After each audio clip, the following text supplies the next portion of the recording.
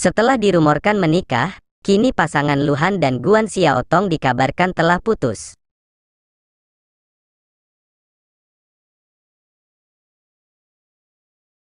Semenjak kemarin rumor kurang baik menghampiri pasangan Luhan dan Guan Xiaotong, di mana seorang paparazi mengungkapkan kabar yang mengejutkan.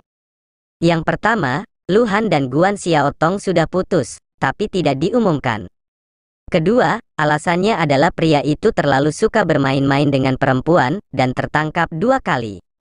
Dan yang ketiga, dikatakan bahwa pria itu pernah berhubungan dengan Song Yan Fei, Kiao Xin dan Sun Jialing, namun untuk saat ini yang santer adalah isu perselingkuhannya dengan Sun Jialing. Ada juga desas-desus bahwa alasan mengapa Luhan dan Guan Xiaotong telah bersama begitu lama adalah karena Luhan sebenarnya menggunakan Guan Xiaotong untuk menciptakan kepribadian yang penuh kasih sayang. Sekarang setelah transformasi berhasil, dia ingin mencari kesempatan untuk putus.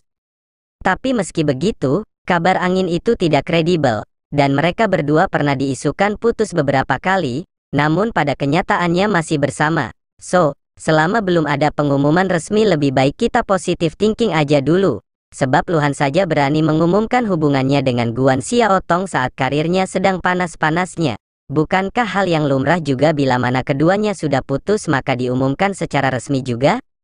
Untuk mematahkan rumor tersebut, seorang netizen mengungkapkan bahwa keduanya baik-baik saja, Bahkan Guan Xiaotong menemani Luhan selama dua jam untuk bermain sepak bola di kala musim dingin menerpa, bukankah ini sangat manis? Bahkan studio Luhan juga memposting sebuah artikel yang mengatakan, tidurlah lebih awal dan menonton Piala Dunia besok. Dan pada hari ini gadis-gadis yang dituduh menjalin hubungan dengan Luhan menyangkal rumor, Song Yan Fei dan Sun Jialing mengeluarkan pernyataan yang menyangkal rumor hubungan mereka dengan Luhan. Luhan dan Guan Xiaotong tidak hanya memiliki rumor pernikahan tahunan, tapi juga rumor perpisahan tahunan.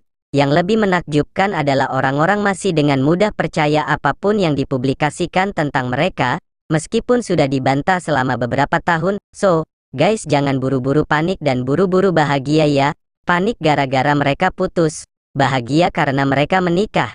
Intinya tunggu pengumuman resmi. So, bagaimana menurut kalian?